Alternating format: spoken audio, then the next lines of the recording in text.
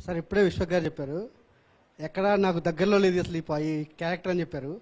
అలాంటి విశ్వక్ని మీరు ఈ పాత్రలో ఎలా ఉంచుకున్నారు? అసలు ఆయన్ని ఎలా కండక్ట్ అయ్యారు? ఆల్రెడీ విశ్వక్ పరిచయం అండి నాకు. ఆ, నేను వెళ్ళిపోమాకే చేసేదాన్ని అంటే ఈ క్యారెక్టర్ కోసం ఆయన ఎలా యా అదే చెప్తున్నా. వెళ్ళిపోమాకేకి ఐ సా హిమ్ యాజ్ ఎంత సటిల్గా పర్ఫామ్ చేస్తారు అని సో ఈ కెన్ డూ అగ్రెషన్గా చేయగలుగుతారు. ఒక సీరియస్ కాప్ కింద చేయగలుగుతారు. At the same time lover boy లాగా కూడా చేయగలుగుతారు. చాలా వేరియేషన్స్ ఉన్నాయి. మీరు చాలామంది మంది మూవీ చూసుండ్రు.